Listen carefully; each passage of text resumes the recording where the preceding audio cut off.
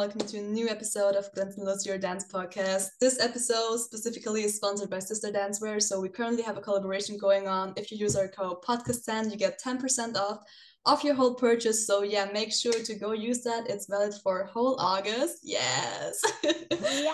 Sister Dancewear is a female founded brand from Germany and offers aesthetic and functional dancewear created by a dancer for dancers. And guys let me tell you it's fucking comfortable i'm actually wearing it right now so um as far as you can see eh, I have amazing sets. So yeah, I use it for different styles. I mainly use it for heels, chest, and I love to wear them for Pilates. So um yeah, make sure to go check it out.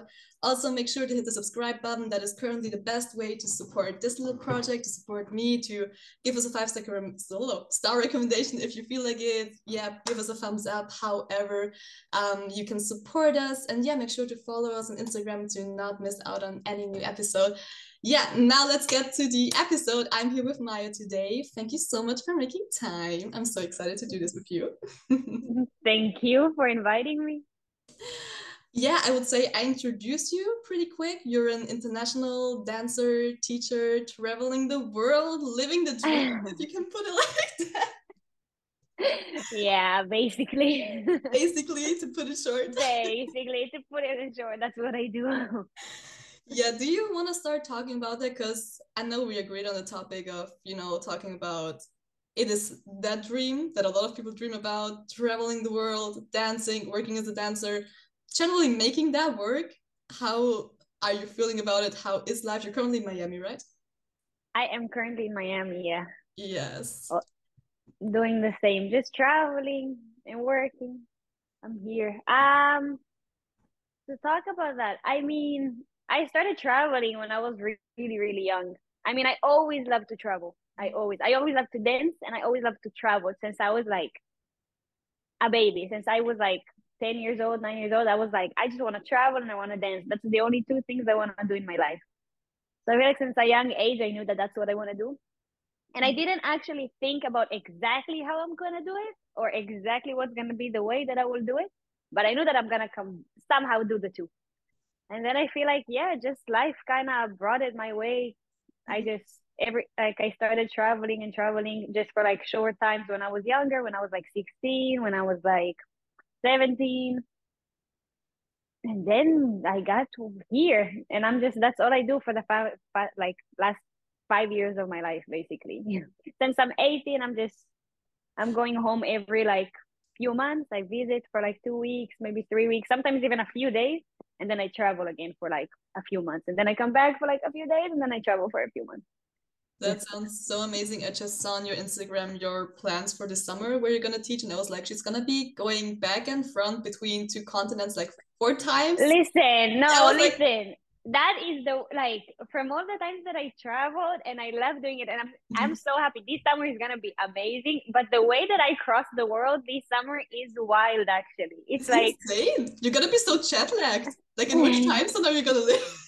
I don't even think I'm gonna be jet lag. I don't think I'm gonna have the time to even feel the jet lag because I only arrive, I have two days, and then I leave. So I'm just gonna be no time zone. Literally no time zone.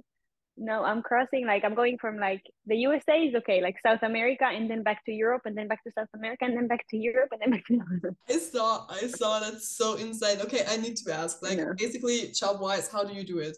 Not talking about how you started because i'm going to get to that point as well probably mm-hmm. but okay do you simply go somewhere okay i mean like this thing we talk now about that is planned already for your summer i know but like yeah. now you're now in miami did you go to miami because you got booked for a job in miami or did you go to miami and then search for job opportunities how do you do it normally um well when i come to the states usually i only come here um to train. That's that's that's the main goal when I have when I come here. Obviously, since like to work here, you need the work visa. To work here, you need to like go a lot of things like immigration wise. So when I come here, I come to train. So I think that's the main cause where like when I came here now, and also like I'm trying to like get my my visa, my work visa now. So it's like everything combines together. I'm trying to see if this is a place I want to stay in, if this is a place I want to settle in.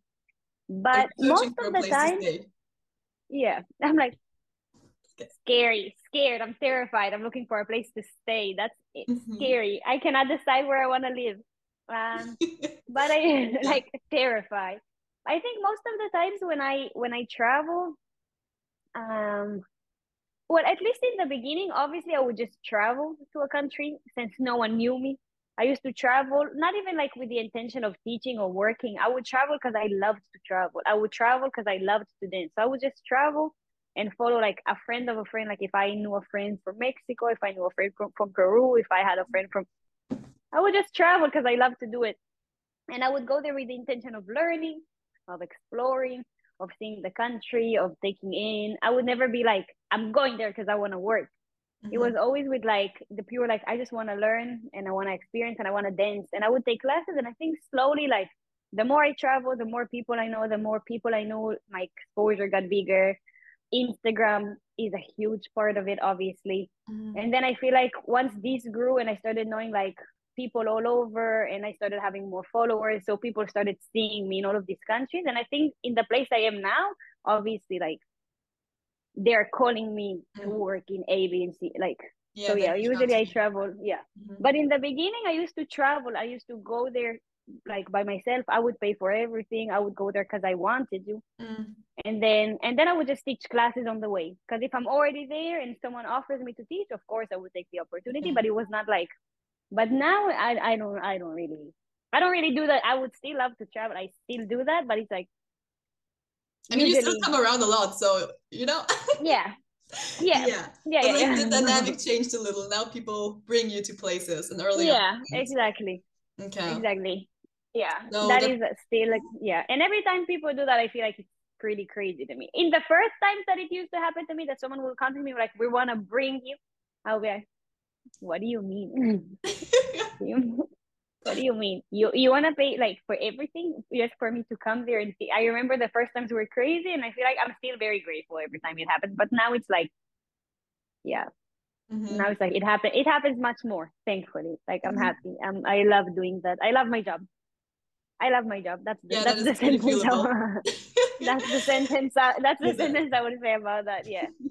Okay, there were two points I wanted to to um bring up a little bit more in detail, I guess. So how did you start financially? Because you said you were just, you know, starting to travel, paying everything yourself. I think, you know, like maybe for a lot of people, I mean, also like for me, that sounds like okay you need to save a lot a lot of money because you know you have your whole life here you have your flat you have your apartment you have your costs that you need to pay each month you know?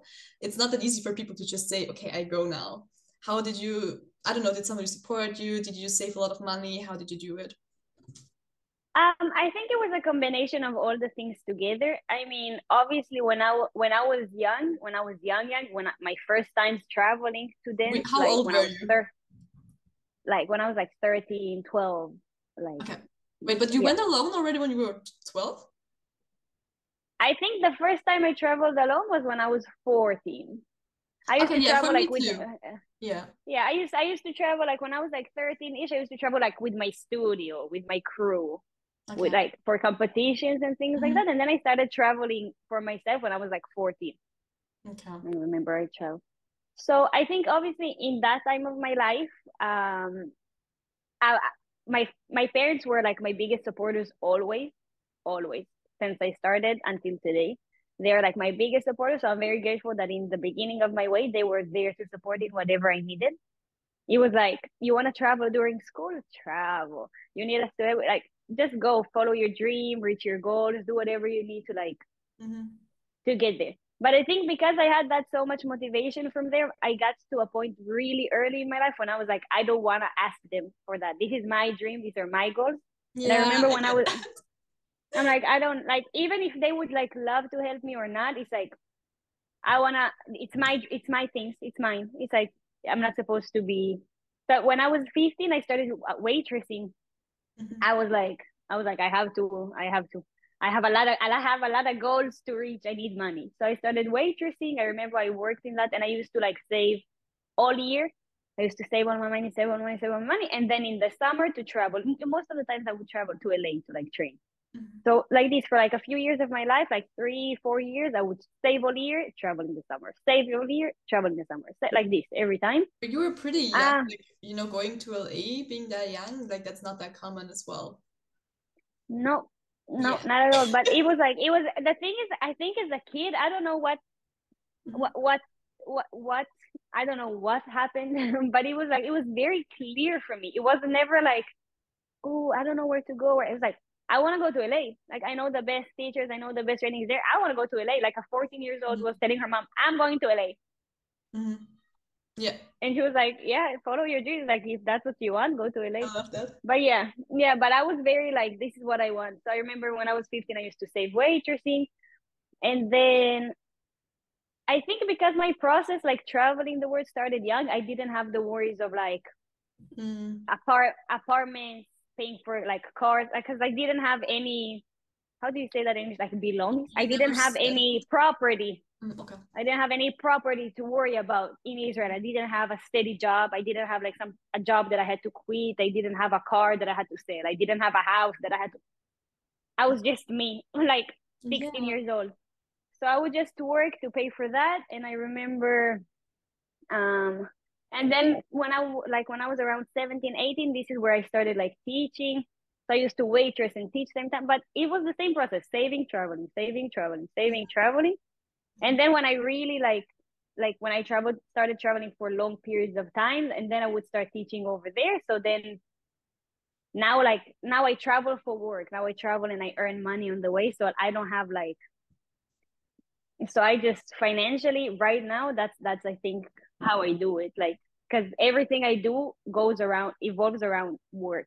And if for example like I'm here to the States for like training, I have all the months before that all I did was traveling and working. And after this, all I do is travel and work. So it's Yeah. so everything balances itself. And back home, I have nothing. I, I also I only go there every few months for like a week. So I like I go, I visit my family, but I don't have an apartment to pay. I don't have a car. I don't have my life or like I live out of a suitcase basically for the past okay. five years. Do you have Mm. two suitcases? Do you have one suitcase? Because like you need to like you have need to have everything there. Yo, and you'd be surprised the amount of people that ask me that. You don't know the amount of people that ask me that. I was like, "Are you really interested in the amount?" of Like it's such a it's such a random simple question. I know, but like for me, But I get that. yeah. Because like you know, I I'm get that. I'm gonna be like three months in Latin America in summer, okay? And I'm already thinking about okay, I need to pack jackets, I need to pack a bikini, I need to like I'm gonna be in all climate zones. Like, what am I gonna pack? It's only three months, you know? So I'm like, I don't know, like I'm just packing for three months, but you're living out of this suitcase. I'm gonna come back and I have all of my stuff here, you know? So I'm like, I don't know. How... Yeah. Yo, you don't even know. That's one of the hardest parts of all of these things. No, because when I travel for a long time, or I think most of the times when I go out of the country, I travel to, I have like three countries that I know that I'm going to visit. And from there, it's like the universe. So like, I don't know. I don't know if I'm going to go back home. I don't know if I'm going to get like other offers on the way. So I never know where I'm going to travel and what the weather is going to be Mhm. and what. So I think I, I, I just balance it. I do have a lot of, I have a lot of clothes and most like I, I do leave them in my parents' house back home. Like I don't take all my things with me. It's Okay. impossible. But I have most of the time I travel with one big suitcase and one carry-on. Okay. But what happens, I swear, 99.9% of the times I travel with one suitcase and a carry-on, and then I travel and I go along the way. And then instead of traveling for one month, I travel for five. And then instead of being in the summer, I'm being in minus 20 degrees. So it's like, and then and then you just you just buy things along the way, and then from one suitcase you're like, I you have to pay overweight, and then from overweight you're like, I don't even have space anymore, so you buy another suitcase. So I feel like every time I leave Israel or I leave my home base, I leave with one big suitcase and a carry-on, and I come back with two big suitcases and a carry-on, and then and then like this every time I travel, like I go back and forth. And my mom is always telling me like, you should really learn how to travel light at this point. Like you just travel all the time. You cannot be traveling with three suitcases every time. And I'm like, That's fine. I, I wish I could, mom. I wish I could, but there's no way I'm leaving this here. Like there's no way. yeah. Every every time, every time, No, like but my and I, mindset every time. my mindset is the same, you know, because also my parents would tell me, oh, you know, everything you forget here, you know, just just buy it over there. And I'm like, okay, I'm just gonna pack half of my suitcase, and you know, everything I need, I'm gonna buy there. And I already know I'm gonna come back like with a filled suitcase. I'm like, no. I don't know. Let's For sure, but for sure you're gonna buy things there. It's just what happens. It's Of not even like. I'm going, and it's not like I'm going on shopping sprees. I'm not like I'm gonna go shopping and I buy five bags. It's just like okay, I'm here now. I'm here in Miami now, and it's thirty something degrees. It's hot. It's it's boiling hot. Like I'm here in the sun all day. Mhm. But two weeks ago I was in New York, and in New York it's one degree. yeah. So it's like okay, it's like and from here, for example, if I'm going back to New York, I'm like I need I need winter clothes. So you buy a jacket, you buy you buy a shirt, you buy like things, you buy like thermal clothes. You have to buy things. It's like you have to. You, you cannot pack everything with you, especially if you're traveling for three months for different countries with different weathers. Yeah. You cannot. Ah, you cannot. You cannot. Impossible. I swear. Okay, another organizational question. Are you living in hotels only? Because that must be so expensive as well. Because like I mean, if you go to events, probably they pay you the hotel, they pay you the flight, and lo- eh, like I know how Yeah. that works. But like especially, you know, like if you're staying in a hotel just a month for training, that's also expensive. Also, an Airbnb in different countries could be expensive depending on where you are. Yeah, I think it really depends where I am. I think most of the times when I travel for work, obviously, as you said, you're organizing it. So I'm like, so this is like my quiet space. But I think when I come to the States, most of the times you find like subleases. Usually there is like a lot of Israeli people here. Mhm. So there is like, we have like Facebook groups. we have Mhm. Facebook groups of like Israelis in Miami, Israelis in New York, Israelis I need to see if, if we have that for Austrians. I don't know. I feel like like Israel is very Israelis are very decent. Uh, but uh, if you guys have that, I, think- love that. We I don't know if just have Austrians this thing. all like that. like Israelis I very love like people, but like I don't know if, if we're like that. Okay. no, it's a very cultural thing. It's a very cultural thing. Um, but yeah, and then you find like I don't know. For example, now I'm staying in an apartment of a girl that she's in Israel now. She lives here, but she went to visit Israel, so she has her apartment, and then I'm like subleasing. Mm, So it really depends. And also, for example, when I travel South America, if it's not for teaching, if they're not booking it for me, so there is like Airbnbs that are not expensive there. yeah. You can always like you always find in every country it so depends, but you always have to do your research. And I think also at the point where I am, because I travel so much, in most of the countries I also have friends, I have people.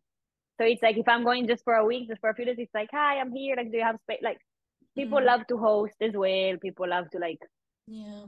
Like to help you with whatever you need. It's like That's you always find a solution. You never like I never pay like millions of dollars to stay in like a fancy hotel. I don't. I mean, I think you need to have in mind that, you know, a lot of people travel and pay their cost at home, but you don't pay that cost that, Mhm. you know, like you can use the money for for different way of accommodation, you know? So exactly. I think that's why it often seems like the unreachable dream, you know, because yeah, I think it's like a also mental thing. You just need to be ready to. One person once told me, um, because I was asking, you know, how did you manage to travel like for 20 years and change homes like, I don't know, 12 times, you know? And he told me, you know, at one point you just have your little suitcase with all your mental stuff ready and you can leave all the time because you have all the papers, you know how things work, you know, all of that stuff. Because also like you're working in different countries, you need to get visa, you need to get working permission, you need to get blah blah blah blah blah. And he told me once you did all of that and you know how it works, it's not that big of an effort to do it again and again, or you already have that ready. But like I think the first step is like the, the mental, how can I do that? How am I, you know, getting all the papers together? That's exactly exactly that. It's like I feel like there is a big space between wanting it and being like, oh, that's something I want, and trying to plan everything until that I see it, and between just jumping to it and being like, okay, I'm gonna try, I'm gonna figure it out. And once you're there, I feel like it's like riding bicycles. It's not like, oh my God, how am I gonna travel? And I have to find a hotel and I have to find it's like for me now it's easy. It's like I like I'm on the flight, I'm finding a place, I found a it's like it's like on automatic mode. I, I don't have to Yeah. like so I feel like once you're doing it, it gets so easy. But I feel like to get from the point of like, oh, I want to do it and I don't know how to actually do it, this is like the big like Yeah. like a Yeah. gap.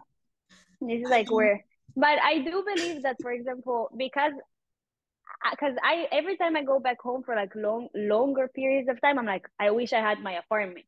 And also now I got to a point in life when I'm like, I wish I had my own place. Like I like I want to have an apartment of my own that I decorated, that I chose the furniture that I picked that like I wanna have like now I'm missing that. Like I'm like, I wanna mm-hmm. have that. But I think since I really knew that from like from a young age that that's what I want to do, or if there is people that are listening, or if you like if it's something you want to do, you have to be able to also give up that part. Because obviously mm-hmm. traveling and paying rent in your own country and paying for isn't like but if you know that you want to go, if you know that you want to take a few years of your life to travel, then probably you're gonna have to say like bye bye to those things for a bit, mm-hmm. which is okay. Or I know a lot of my friends when they travel, like they have their apartments, and also they're doing what this girl is doing here. They travel for half a year, so they're subleasing their apartments. Like everything is possible. It's not like I'm paying back home, so it's impossible for me to travel. You can always rent your apartment while you're gone. You can always find solutions to these type of things. You know what I mean? Exactly. And also, you have to be ready to give up. You just need to be, some exactly, of Exactly, exactly. It's gonna be so interesting because like for me, you know, I'm in the process of doing that because I have been living alone since I was 18. So I have my own apartment now, and now I'm gonna start to travel and to be gone for more months. So guys, when you're seeing this interview, I'm probably currently figuring out how I'm gonna do it. so, and if you and like and if you wanna rent her apartment while she's gone, yep. let's we're finding let's find you some solutions over here. Exactly. Mm but it's so true because yeah. especially you know i love my apartment here you know so and i love to travel but of course as you said i have everything decorated i have all of my things here and you know of course i can give my things to my parents and put them in their house again you know but still it's like i need to sell the the furniture or I need to you know it's just like you're saddled in some kind of way and you need to take the step to it's just you I have all of your things but at the end of the day, I don't think we need as many things as we think we do need. You know what I mean, right? I do know what you mean. I have yeah. nothing. yeah. I just have my clothes. That's all I have. What, like, what more do you need? I just need my dance shoes, my clothes, and you know, just uh, like at the end of the day, you know, when I was thinking about packing for for my three months, I'm like, I'm already thinking about it, obviously. So I'm like, yeah. I'm gonna only pack I'm only gonna pack clothes that I really wear. And at the end of the day, I don't think I need more. So I started to sort out a lot of clothes now to sell them as well. You know, so I don't know. I think it's like a big, big mental thing and just like, you know, all of the system, if you're settled to of course give it up. That's that's the point probably probably I, I think the the system that I that I like the system that I built myself while packing or thinking what to do, like when I go to such long periods of time, is like I have like the two weeks rule. That's how I call it, the two weeks rule. Okay. If I didn't, if I didn't wear it for the last two, the past two weeks of my life, I don't need it. If I didn't wear it for the in the last past mm-hmm. like two weeks, I probably don't need it, and I'm probably never gonna wear it. Because I think for me, when I pack for like a month or two months or three months, in my brain, I don't know, since a young age it was like that, it's like packing for two weeks. Because mm-hmm. anyway, you pack because you're not gonna take um three months clothes. You're gonna take for two weeks and you're gonna do laundry and you're gonna wash it. You're gonna buy some things on the way, and then you're gonna wear your new clothes. If you didn't wear it in the last two weeks, you probably really don't need it because you're just never gonna wear it. You're gonna wear the same clothes. You're gonna wash them, and it's like it's my favorite shirt, and I'm gonna wear it the next week as well, and I'm gonna wear it the next week as well. I'm just gonna wash it and wear it. It's like it's a lie. You put it like always when you pack it, like, oh, but what if I would want to wear it? I'm like, you didn't wear this shirt in the last year of your life. Don't lie to yourself. You're not gonna wear it now when you're gonna travel. I think I'm lying to myself. Because when I started my clothes up, my rule was also okay, did you wear it the last year? You know, and I was like, but like a, a year is still long. But you're so right. I need to adapt to your two weeks rule. yeah and also at some point I get to a point like when I pack because now really when I pack it's like an automatic it's like I pack like two hours before my flight I have the clothes that I already know that I'm gonna take maybe I add here here like I use it's like so like now when I pack it's like meditation but it's really it's meditation in this point but it's like I have like I have like this point when I'm like okay wait did I take everything I need and then I'm saying okay if I have my passport my wallet mm. my heels and a pair of sneakers I'll be fine. I'll be fine. like I will be okay. Like when I travel, worst case, you like you always figure it out. Yeah. It's like as long as I have my passport, money, and my phone, I'll be fine. I'll be fine. You'll be able you will be able to manage somehow as long as you have as you have these things. Yeah, yeah. totally. No, we also traveled a lot when I was a child with my parents, and my parents were always the same. I was like, you know, if I forgot something, my parents were like, "Oh, chill, we're gonna figure it out along the way." You know, in the worst case, we buy a new one or whatever, and you can sell the old one at home or whatever. You know, so it was always like pretty chill.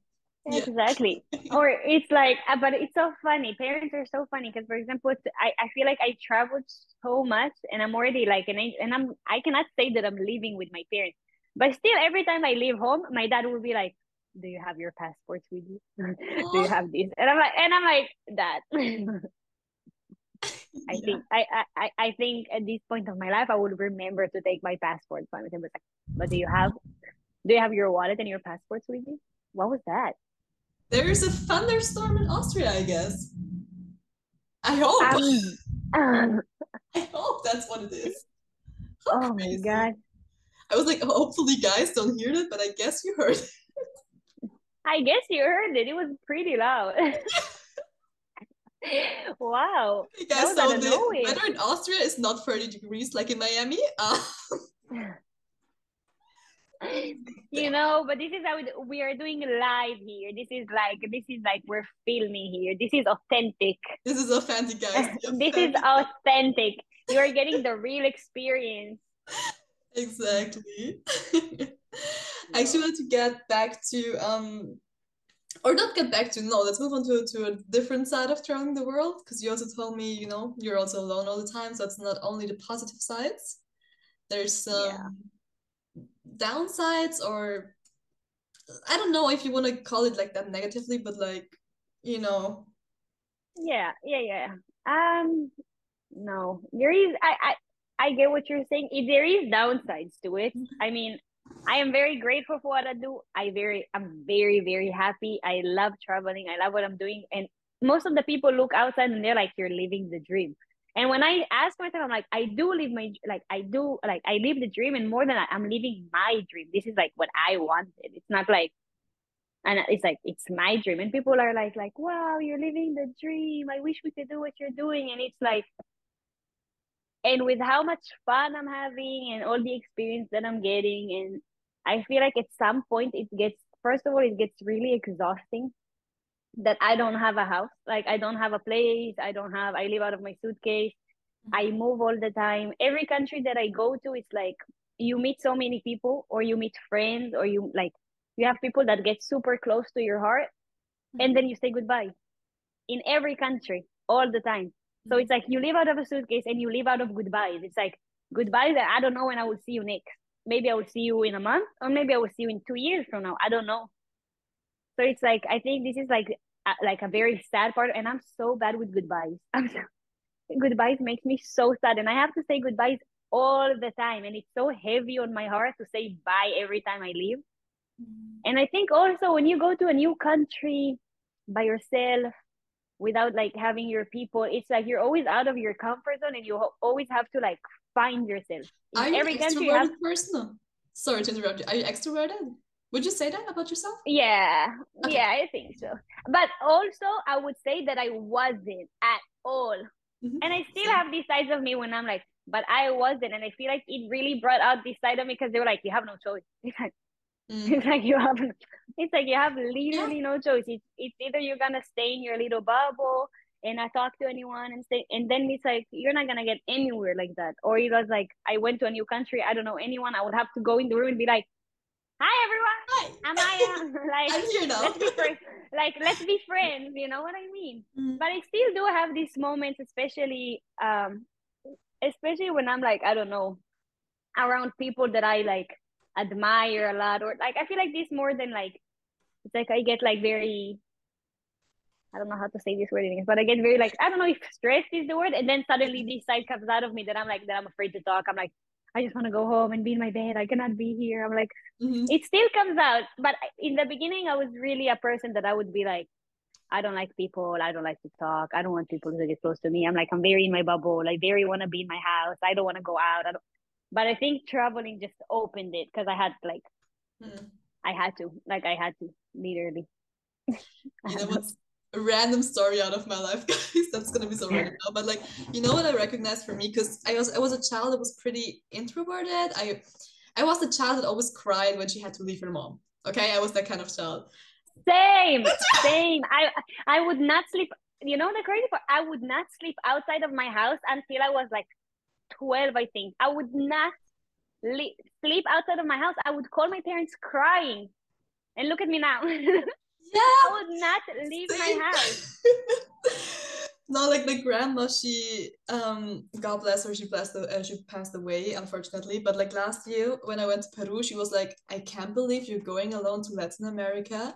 You were the child crying. You didn't spend the night over at my place till you turned I don't know what age, and now you're fucking leaving the country and going to a different continent. Like I'm so proud of you. You know, that was like that was the cutest thing ever to to hear from her. But like I was that person as well. And um, the thing is, what I also recognized, um, because it's a cultural thing, um, me having learned Spanish, because yesterday I catched myself, because normally in Austria, you don't talk to people. If you're on the train, you don't talk to people, okay? It's not like a, you don't do that, okay? It's like, I think like New York is like also like that. I don't know. It's just like, you know, everybody Yeah. gives each other the space and then, you know, it's fine. And I, I heard some people talking Spanish yesterday, complaining about the door closing so brutally in Austria, and I just tried to and then tried uh, immediately tried to explain them in Spanish, like, oh yeah, no, that's normal, don't worry. And they're like, oh, you talk Spanish. I'm like, oh yeah, I talk Spanish, and then started a full conversation. I'm like, I'm so extroverted in Spanish, but I'm not that extroverted in German.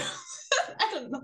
Yeah, I think this comes from even a deeper side of being extroverted or not, because I think that this is like a cultural thing. Like Mm, it's like I think for that, for example, Israeli people are very similar to like Spanish. Like it's like I think it's not even a culture. It's like, for example, when I travel the world and then I found another Israeli person, if I know him or I don't know him, like we will hear each other speak Hebrew and we will be like hey. Hebrew. ah, hi, like how are you? Especially when I travel alone, this started become becoming such a, an important thing for me. Like if I hear like Hebrew and I'm alone, it's like hi, like oh my god, like I'm also here. And if they're the alone as well, like you, and then it's like you always find ways to connect. So I think the same happens, for example, when you're like, because back home, for example, obviously, like it's not like that. But when you travel, when you're out of your country, it's like when you hear someone speaks your language, it's very like, Mm, oh my god, okay. So I think with like with Spanish, at this point of my life, also when I hear people speak Spanish, I'm like, where are you from? Yeah, Where are you from? Be my friend. Be my friend. You know what I mean? But it's me too. yeah, but, so but for sure it's a cute. co- they, they start to talk to you, having a full conversation. I'm like, oh, you're so cute. yeah. Yeah, my, my friends always tell me, my friends that maybe, I don't know, travel less than I, because my friends, like, for example, in Peru, like, they always see me traveling a lot, and they're like, we don't even understand where you are in the world right now. You're just every, like, you're just somewhere. It's like, you're just somewhere. We don't even know where. But they're always surprised. They're like, you, you make friends so fast. I remember I had, like, with my friend a conversation the other day, because I'm here in Miami and I'm here alone. Now I'm getting, now, obviously, now I got to know people, da da da. But it's like, I came here alone, and it's like, I met like this like girl from Peru, and the next day we went to the beach together. You know what I mean? And it's like they were like, "You make friends so fast." I'm like, "It's training at this point." But it's like she's You here alone, I'm here alone.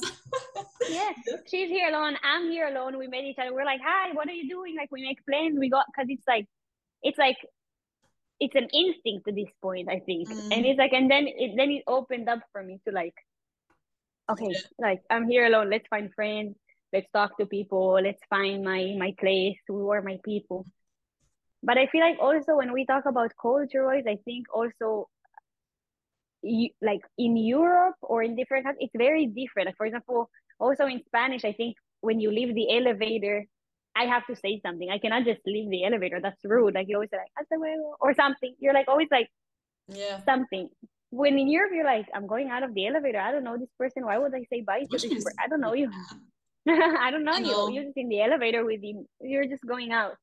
Yeah. So I think it's like, yeah, it's like it's just really different. It's Yeah. really oh, Also, different. The, the way you greet each other. You know, when I came to Peru and they started to give me kisses on the on the on the They're like- kissing you.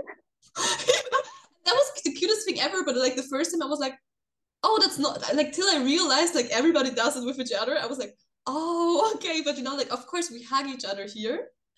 But if you don't know each other at all, you, in the dance scene we hug each other. Doesn't matter what. But like normal Austrian culture, you don't just go and hug. You're like, you know, stuff like that. No, it So, it was yeah. it, it was shocking to me. It was such a cultural shock. I remember my first time in South America, I was shocked. I was like, why is everyone kissing me? and not even necessarily in a bad way. In general, I'm a person that usually I, I don't I don't touch. My friends know that like I don't like physical touch and me we don't go together. We're we're not like my friends like I don't hug them. I so for me it was like oh my god it was so overwhelming. Or for example, I used to teach classes there and I would finish class and people would like stand in line. Obviously, like that is amazing. Like they say thank you after class, but they don't say th- they hug you, they kiss you, and you're like, "Ah, whoa. Or when you go to like you're in a friend's house and there's like 20 people, you're not just gonna enter the room and be like, hi everyone. You're gonna go one by one and say hi to each person and kiss each one of them. I in it, we, we don't do that back home. We don't do that. No, I I was so shocked. And what also shocked me, because that was a big difference for me too, like the classes I visited, or like I don't know if it's everywhere like that, but like we were warming up and the teacher goes through the room and says hello to everybody. You know? In Austria, it's just like the teacher is there, starts a class, and the teacher starts the class. It's not the person's not going through saying hello to everybody. It's just like if you take the class, you take the class and you want other 35 people. And I was like, Yeah. oh wow, So I think so. I think that does happen in different countries as well. Like for example, here in Miami, I feel like that's a person dependent. Because for example, in Israel, in Israel, we don't do that either. I mean, I do say hi. I'm like hi, like like I say hi, especially to the students that I really know, or like I say hi, like when class starts, obviously. But I feel like, for example, here in Miami, there is a few teachers that will go one by one to each person in the room before class starts, and they, they will say hi to everyone, even if they don't know them. It's like I feel like it's like in every that's just so interesting. This is why I love to travel because I think in every country things are so different. Like Mm. so different. Small things that for me are so normal over there, like or things that for them it's like a day to day. Like this is like how it's supposed to be. For me, I'm like, like the kisses thing. I'm like, I'm sh- I was shocked. I remember in the beginning, I was like, they're all kissing me, everyone. So it's just so interesting to me. This is, I think, one of the biggest reasons I love to travel because I'm always like, wait, so this is how you guys do it over here? How crazy. Yeah. But I think also, you know, to come to learn to understand that Mhm. cultures function differently, the way of communication and whatever and everything, you know, I think you really need to be open and to have like an open mind and a lot of love and, you know, the curiosity to broaden your horizon because things work differently in different countries, you know. So some things you might consider also rude in your country are normal in other places, you know, because I don't know, simple, simple stuff in Austria, we're really punctual. We're fucking, fucking punctual. You know, if you leave us waiting for five minutes, you're late. for example, you know. Wow. And my Spanish teacher, I talk with my You Spanish, see. How interesting. I, I talk with my Spanish teacher about it. You know, like Austrian punctuality is like five minutes early. That's how we do it. And classes start on point, you know. And my Spanish teacher also told me, you know, like, yeah, no, depending on which student he has, he comes that amount of minutes late. With me, he comes only two minutes late because he knows. so, you know, that's small stuff. How crazy. Mm. No, these things are like, but I feel like this is why this is like the part that I love the most. Like I'm so like happy to learn because how boring would life be if in every country everything would have been the same? How boring would that be if everyone would have been like, oh, it's so interesting to travel to a new place that you've never been before and be like, okay, how? So tell me, how do you guys do it here? Yeah. Remember, my biggest difference was from like going, I don't know, South America or like South America to Europe and then Europe to Asia. Like Mhm. everything is like, you're like, it's different worlds and they're all so interesting. Mm. They're also so interesting. I love that. I love that so much. Can we talk a little bit about staying safe, traveling alone, you know, because Staying safe in, in what in what aspect of it? I think in all of the aspects, whatever you want In to all of the aspects. I think, you know, like a lot of, especially as a woman traveling alone, Mhm. especially also Latin America or like countries where you have not the Europeans, uh, you know, like not the, the system of security we have, for example.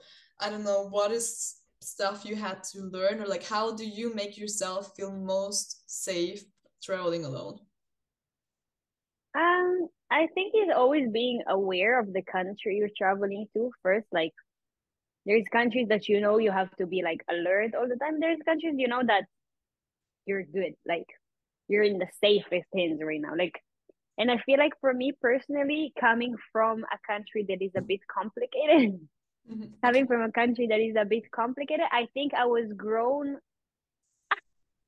i have a like oh my god. Wait can i also can i can i also do that? Why did it happen i saw How it random. and you know if you i think there's a heart as well I once managed to, to make them. Yeah. How cute technology. Guys, go watch the YouTube video if you're hearing this on Spotify or somewhere, then you get what we're doing. we're having we're having special effects over here. Join us on YouTube. It only works with you, but yeah. um so I feel like uh, since I came from a country that was like it is was and is very like complicated like security wise it is very it's like safe but very not safe. We grown like we grew in a way that i was like i i grew in a way that i was always very alert. Not not because i'm a woman but in general but in general. So i grew always like alert always watching every like making sure that i'm safe making sure like always. So i think when i traveled the world it wasn't that far from like what i knew it was like okay now i'm in a country that i don't know. Now i really need to be alert. And i think um the best way to keep yourself safe is really like getting to know people as fast as you can. Being really aware to where what where you are in the world and also finding your people very fast. For example when i was in south america i like i i have my friends over there that are like that they know. Because you you just need to know. Because i feel like every country has like has her like safe and unsafe some more some less like some are like very like unsafe some but it's like you need to know how to like walk in those countries. You need to know where because there is areas that are super safe there's areas that are like extremely dangerous but you need to be aware. So i think always make always watching your surroundings seeing where you are seeing like okay wait i don't this is not the view. I'm not like i'm not i'm not i don't look like a part of the view so it's like this is where you need maybe to stay away and also finding people to guide you. It's like it's impossible, I think, to travel completely by yourself and just guessing. It's just very unsafe. So I think having people to like at least let you know, like just don't get like just don't be in that area. Like mm. this is safe, this is cool, you should do that, you should do that, you should do that. But like for example, to these areas, just stay away you always need to have that. You always have to like ask for people ask recommendations ask where you should or not. You just really need to do your like research in that aspect. I really think it's important especially when you're a woman especially when you travel by yourself. You don't want to just go and be like i'm gonna go everywhere and walk like nothing mm. because there is a lot of places there that are like unsafe. Yeah and and some countries are like some countries are like unsafe and some countries are like extremely unsafe. So you really need to know where you're traveling to. i thought you're gonna say some are unsafe and some are safe? You're like some are extremely unsafe. Extremely unsafe. No there's obviously countries that are very for example i think my experience like for example when i was in thailand or when i was in korea in korea for example like i've never felt so safe in my life. Mm, in Thailand, i've never yeah, felt really really safe also because the people are really inviting, welcoming, and talking to me a lot. Because it's yeah, it's like cool. Like it's like something about these countries are extremely, extremely safe. You also like their criminal rate, like they're like mm. is very low. Like I wouldn't mind even like leaving like leaving my phone like this in a restaurant and leave. You would know that it will be there when you come back. You know what I mean? It's mm. like I felt very, very safe. Mm. Um but then there's obviously countries that you know that are unsafe so you just really need to like understand where you're traveling to what your surroundings ask people ask people do you trust people ask them. um I in the beginning I really did. in the beginning oh. of traveling I really did. in the beginning oh. I, yeah. I think in the beginning of the way because I think I would I would assume that everyone come with the same intentions as mine and also i would be like because i didn't understand the differences of how people see the world and how people see life i would think that everyone has the same point of view of mine like i'm like i come from me like where i come from where how i see friendships how i how i see like I thought people were like the same. So I think I I did get a few burns on the way, like that. I'm like, oh, wait, okay. So I did get a few burns on the way. So now it's like it takes more time for me to trust people and get them close to me, especially when I travel so much. Mm. But yeah, mm. but yeah, it was a process. It was a process for sure. Yeah, because me too. I trust really easily. Still, let's see. we talked. I told you. No, you need to like it's important i think it's very important especially when you travel you do need to open up fast you do need to let people exactly in because fast. of that you know having the balance yeah. of opening up but like still yeah but yeah so i think that that is something also it's like training it's like training of how to make friends it's training who to actually make your friends who to actually because i have a lot of people that i know i have a lot of people that are like i know them we are friends but my real friends I can count on like maybe one hand if I'm being extra too.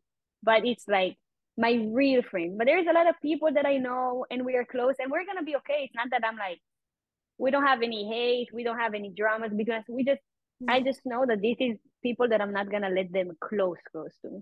They're close until a certain level.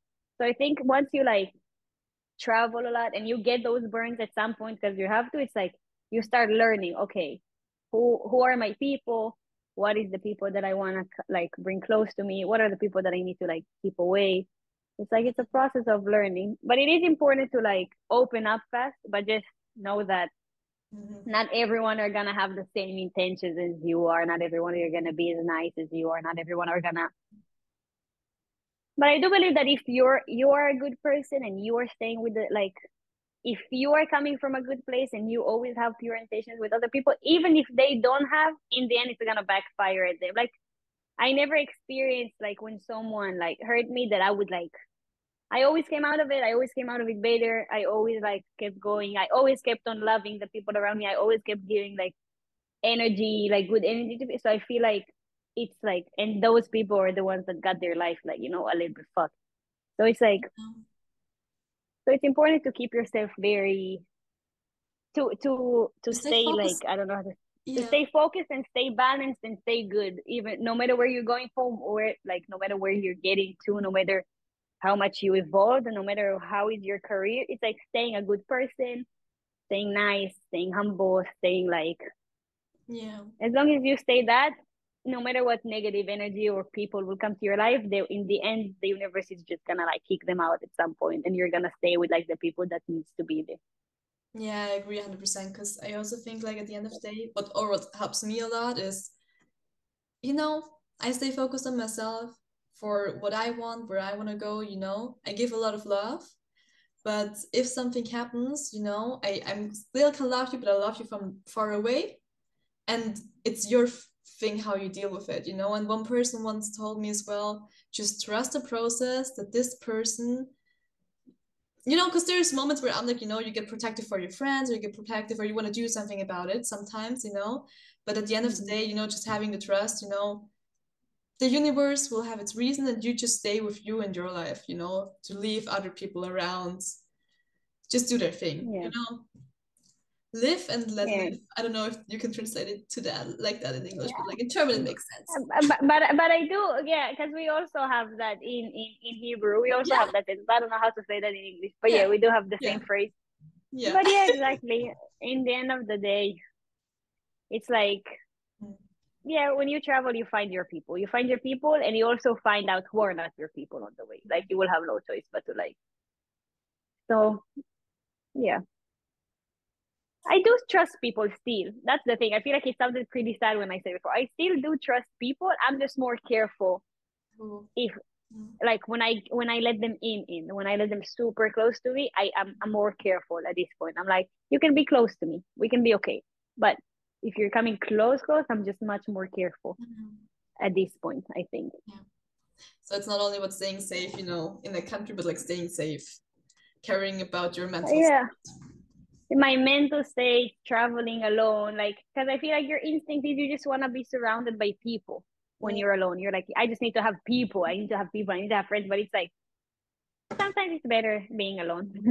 Sometimes it's better being alone you know what i mean and it gets pretty weird when I travel to teach. I think also a part of me is like, do you actually want to be close to me because because you like me and you think I'm a good person, or a part of it is because I am Maya, or because I dance a certain way, or because I'm here to teach and I'm like the teacher. Are we like, are you actually like you want to be my friend because of me? You want to come, or it's like, or is it only because I don't know I dance good? You know what I mean? It's like I think that's hard because um generally, you know, with all the everybody tells you, oh, you need to network, you need to start networking when you're like already, you know, starting out with your dance career and everything. And I think the way of doing it, staying pure and authentic and not because I think like out of my experience, I can tell if someone and that's a thing where I'm really I trust people, but I'm really, really attentive with it as well. Um, because I know there's people being pretty nice to me, but I don't but I know they're not nice to everybody. That's where I'm like getting really cautious of okay you know like if you because i'm i'm of the con how do you say i'm convinced or my approach is you know i give a lot of love but i want to give it to everybody in the same amount mm-hmm. possible you know i don't give you love because i expect something I never give love because I expect something. I give love because I want to. And I think it's feelable if somebody gives you love and expects something back. And that's when it starts to not feel good. For me personally, that's me. Okay. Mm-hmm. So my approach is always, you know, if you want to give love, give it because you want to give it for the sake of giving love, not because you are opportunistic. Because I think that's where it starts to get feelable. And I think, you know, keeping it balanced between promoting yourself, getting to know people, feeling safe in the country, you know, but at the same time being like, okay, down to earth, that's like the balance where you need to find a way. Yeah, I feel like our industry is a bit complicated in that aspect of like yeah. yeah, it's a bit complicated in that aspect of like making friendships, of staying loyal, of staying humble. It's very, it can get very tricky. It can get very tricky and it can get very confusing at some point. Mm. But like, I feel like when you said it now, remind me like, I feel like one of my biggest fears for people to be like, oh my God, like, like my, like that I'm only nice to certain people, for people to be like, for people to experience me as a not as a nice person, for people to be like, Mm-hmm. I met Maya and she was like, she didn't know who I am, so she was so not nice to me. Like this is one of I think my biggest fear. I'm like, I don't want anyone to have this type of experience when they're thinking like, no, but she's like, she's not nice.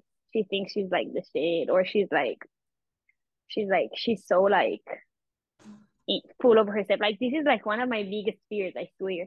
So it's like for me, it's like no matter who you are, like I'm, I'm gonna be nice to you no matter what. Like we're gonna be good. I'm not like I feel like some people can get really Ugh.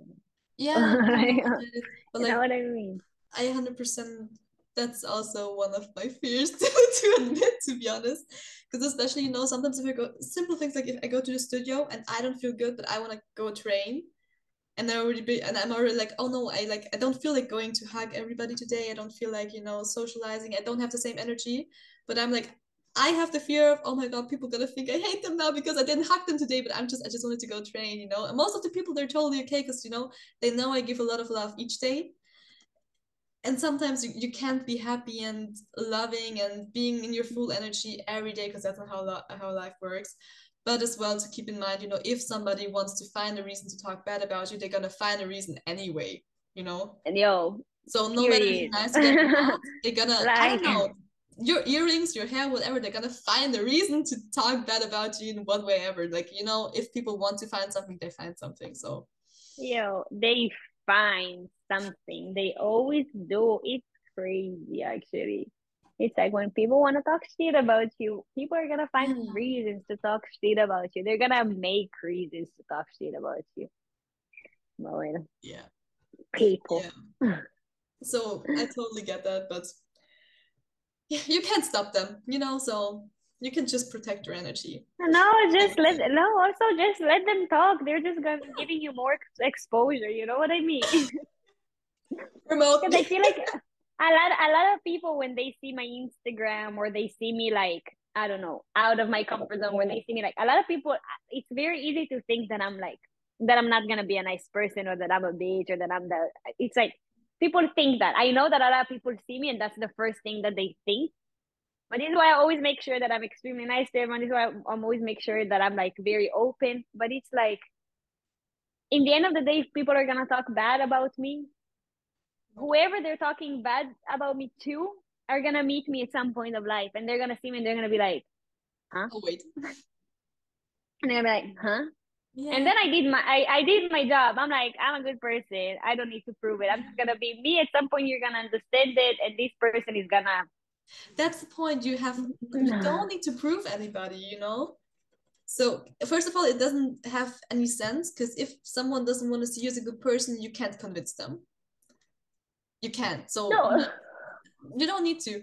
And I think that's a beautiful thing about it. You don't need to do anything besides being yourself you know because you don't i think that's a pretty pretty really down really you know down to earth thing to say to just be like i don't need to prove anybody because that makes you seem really in your balance you know to be like that you really and how do you say to yeah. feel comfortable with yourself and to be confident in the person you are because you don't need to prove anything exactly yeah i'm gonna be me if yeah. people are gonna like it or not so this is that I think keeping yourself safe. If we're going back to the topic that all of this conversation started, we lost it, huh? But yeah. if going back to that, to like where like feeling safe, I think that that this is this is what it is. Like except of like literally security wise or like being a woman traveling alone, like mentally or like traveling by yourself when you don't have your you're not in your comfort zone, you're not in your support system, you're not in your like country, you're not people don't speak the same language is being able to stay true to yourself which is i think was the hardest thing for me to find because i would usually adapt myself to the place i'm in. I would be like if this is how they are this is how but i feel like at this point now i'm like this is who i am. This is what i like. This is what i don't like. This is how i talk. This is how i express myself. If you like it or you don't like it and then going like being able to stay in that like balance of like being pre- like present yourself as who you are and stay with it and stand with who you are. This is i think the hardest thing but i feel like this is like once you get that this is how you keep yourself safe when you travel or in general in the dance industry. I feel like being true to who you are in general is like the most important thing to not lose yourself to not let like the hype or the people around you to feel like oh but i need to be this and to be cool i need to do that and that and that. I need to be with these people. It's like no this is who i am. I'm gonna keep doing what i'm doing. And yes. like this is my lane. So this is i think the hardest thing in the Having your values, or traveling. All of that. Mm-hmm. i 100% agree. Okay i think we're gonna round it up oh my god a little yeah, bit okay. i think let yeah, me yeah, check my, my I hope the rain is not too loud because guys, I would love to show you, but it's like okay, no, you, you can't see, but I tell you, it's like floods of water coming down currently. That is so crazy. I mean, I don't, I, I don't really hear. I did hear like okay. a few thunders in the beginning, okay. but I don't hear the rain, so I think they're gonna be fine. amazing, amazing. If not, guys, take it, take it as a meditation. Take it as we we are in we are in a special effect podcast. You have some rain sounds, you have hearts, you have likes all around, you have you have it all. You have it you all. Have it all. There you go. You have it all. No, like I think we we talked about most of the topics we wanted to talk about. I think we still got into a different kind of direction, but I love how this thing turned out, to be honest. So, is there, before I ask you the last question, is there anything, any topic you still want to approach in any way? or something no, let's make it just what do you have to give away at the end of this episode? What do you want to tell people? Um what do i have to tell people? Um especially for my people that want to travel i guess i would say or feel like they want to do what i'm doing or want they see people doing that and they want to go like that's what that's their goal is to to to step away from that how am i gonna do it or trying to figure it out or like trying to like to just jump. I think especially with this type of thing, is just doing it. Like you would forever be stressed. You will always be like, but I don't know it. But you will never know everything. You will never be ready completely. You will never have all of your shit together. So sometimes you just need to jump and do it. Like get that flight ticket, get on that plane, get and figure it out from there because you are gonna figure it out and then you're gonna laugh at yourself. You know, I think that's what I usually tell my friends as well. It's like they're like, but I don't know, like I don't know if to travel. I don't know if to buy. I'm like, just buy it, just mm. travel. You're gonna get there and you're gonna be laughing at yourself, like I cannot believe I didn't do it until now. Because we always figure it out. So just make that step, go for it. It's not as scary as it looks. It's not as complicated as it looks. That's the thing. It's not as complicated as it looks. It's pretty. It's pretty simple once you get it. Once you get the hang of it. But to get the hang of it, you just need to go so, so go get out go. of your bubble. it's like just do it. Like just do it. That would be my advice. That would be my biggest thing for the people that want to travel. I think. Okay, so my last question: the people who know already know, as always. Um, what is the most random emoji you use? The most random emoji. a random one. I want to have a random one. Wow, how would I know that? I cannot exit and go to my WhatsApp. The most random emoji. Oh, true, because you're on your phone. Oh, I'm so sorry, babe. Um. no, I'm gonna figure it out. I'm trying to think what emojis do I use. I don't really use emojis, but I have like no, but that's not random because I'm from Israel. I have like the Star of David that I always use. The cats. I always use the cats my my go-to emojis the cats like you know these cats that have like the smiling the heart but mm-hmm. i don't think that's but this is my go-to emoji okay. for whatever these cats are just my these are my emojis okay forever. guys we take the cats so if you've listened to the end of this episode what you have done otherwise you won't hear this right now you go to our cover post to any post any content we have with Maya or the YouTube comments and comment this emoji. We want to see you guys if you've listened to the whole episode. And yeah, send some love, I would say. Thank you so much, Maya. Of course, your Instagram is already linked down below the whole episode. Is there anything else you want to advertise for? Nah, my Instagram I think is is is, is good enough. Amazing. Okay, guys, so yeah, make sure to use our code podcast10 to get 10% off of Sister Dancewear. Make sure to go hit the subscribe button to go follow us on Instagram. And yeah, thank you so much, Maya, for yeah. I'm like, go follow. right now. go follow. Yeah. Support people. So We're entrepreneurs. Support the people. God damn it. Hell yes. Yay. Thank you Thank so much, you. guys. As you have already recognized, it's going to be more than one episode each two weeks this summer. So, um, yeah, see you next week, guys. Bye. Yay, bye. Thank